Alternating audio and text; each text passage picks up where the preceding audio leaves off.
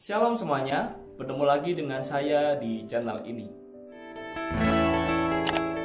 Dorongan untuk membuat video kali ini sebenarnya berawal dari seseorang yang tidak terima terhadap pembahasan yang pernah saya buat, yaitu tentang karunia berbahasa roh yang pernah saya bahas berdasarkan kebenaran firman Tuhan. Oleh sebab itu, pada video kali ini saya akan membahas tentang mitos dan fakta yang dipercaya oleh orang Kristen tentang karunia berbahasa roh.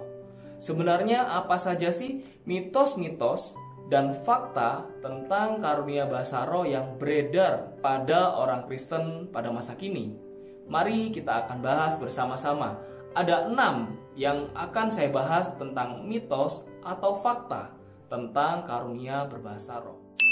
Mitos yang pertama adalah setiap orang percaya pasti bisa berbahasa roh. Apakah benar setiap orang percaya pasti bisa berbahasa roh? Bagaimana dengan orang-orang Kristen yang tidak bisa berbahasa roh?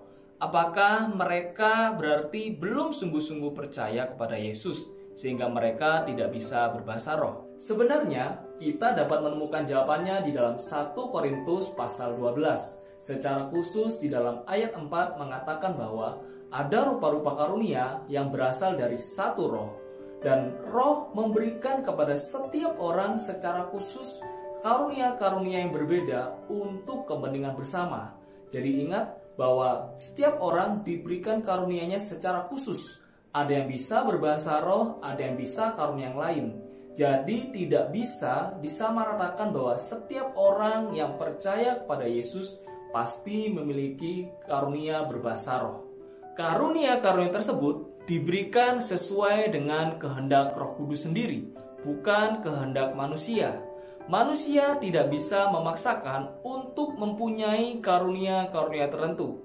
Semuanya berdasarkan kedaulatan dari Roh Kudus sendiri, dan semuanya untuk kepentingan membangun bersama. Mitos yang kedua adalah setiap orang yang bisa berbahasa roh berarti memiliki roh kudus di dalam hatinya. Mitos yang kedua ini memiliki hubungan dengan mitos yang pertama.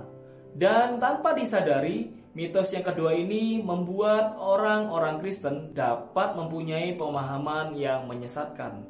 Sebagai contoh, ada orang-orang yang berusaha bagaimana caranya harus bisa berbahasa roh supaya dia diakui mempunyai Roh Kudus di dalam hatinya. Kalau kita membaca di dalam 1 Korintus pasal 12 ayat 13 di mana Paulus mengatakan bahwa setiap orang yang percaya telah dibaptis oleh Roh Kudus, bukan hanya orang-orang yang bisa karunia-karunia tertentu dari Roh, tetapi semua orang percaya telah dibaptis Roh Kudus, sekalipun tidak bisa berbahasa Roh.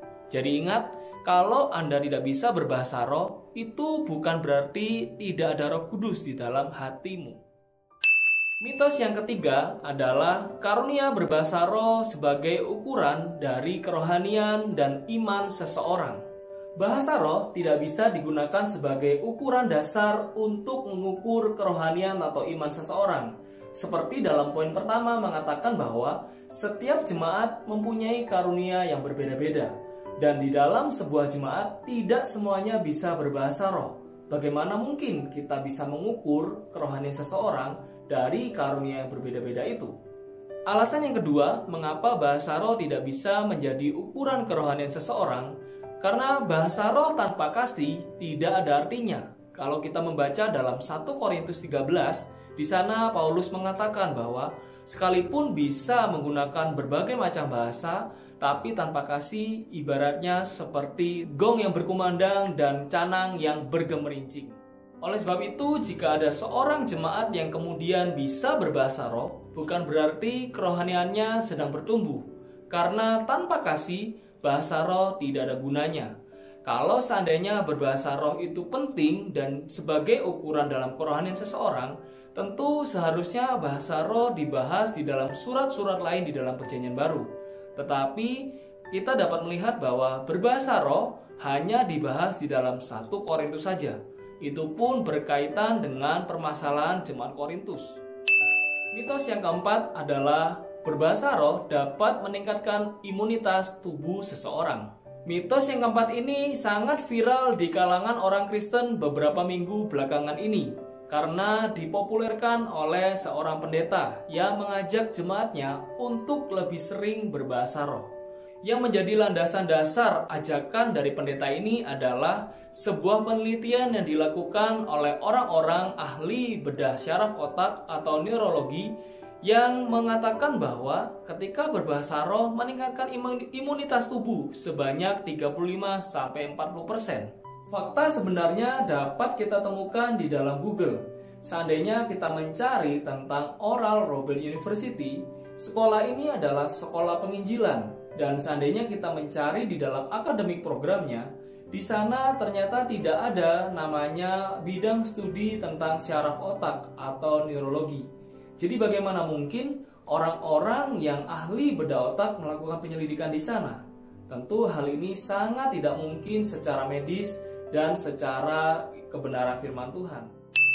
Mitos nomor 5 adalah karunia berbahasa roh adalah karunia yang paling tinggi dibandingkan karunia-karunia yang lain. Kalau kita membaca dalam 1 Korintus 12 ayat 10, justru di dalam bagian itu karunia berbahasa roh disebutkan yang paling akhir Seandainya karunia berbahasa roh adalah karunia yang paling penting, seharusnya karunia berbahasa roh disebutkan di paling awal dari semua karunia yang ada. Mitos keenam, bahasa roh adalah bahasa eksklusif dalam kekristenan. Mitos yang keenam ini adalah hal yang paling penting, karena bagi sebagian besar orang Kristen menganggap bahwa bahasa roh adalah bahasa eksklusif di dalam kekristenan Padahal kalau kita melihat di dalam sejarah, di dalam zaman Plato sudah ada laporan tentang berbahasa roh. Dikenal juga oleh orang-orang di Asia Tengah pada waktu itu dan juga dilakukan oleh orang-orang dari agama-agama lain. Bahkan para penganut Mormon pun juga bisa melakukan bahasa roh. Karena dapat dilakukan oleh orang-orang di luar kekristenan, Ucapan bahasa roh tidak bisa dipastikan sebagai tanda iman seseorang kepada Kristus, apalagi baptisan Roh Kudus. Yang menjadi kesimpulan dari enam mitos yang telah dibahas adalah yang pertama, jangan minder seandainya Anda tidak mempunyai karunia Roh Kudus. Karena karunia Roh Kudus bukanlah penentu dari kerohanian seseorang. Yang menjadi penentu pertumbuhnya kerohanian seseorang adalah seberapa jauh Anda merenungkan dan membaca firman Tuhan dan seberapa jauh Anda melakukan firman Tuhan. Kesimpulan yang kedua adalah menurut pernyataan firman Tuhan menegaskan bahwa setiap orang yang tidak bisa berbahasa roh tidak berarti tidak memiliki roh kudus di dalam hatinya. Ada orang-orang yang mempunyai gagasan yang konyol mengatakan bahwa setiap orang yang tidak bisa berbahasa roh berarti tidak mempunyai roh kudus di dalam hatinya bahkan belum dibaptis oleh Roh Kudus. Dan ada juga orang yang mengklaim bahwa ketika seseorang bisa berbahasa roh, doanya lebih didengar oleh Tuhan dan ibadahnya lebih diperkenan oleh Tuhan. Itu adalah salah besar. Yang terakhir dan yang paling penting, karunia apa pun termasuk karunia berbahasa roh, tanpa buah roh tidak ada gunanya. Memiliki karunia tetapi tidak memiliki kasih Allah di dalamnya sama sekali tidak ada gunanya.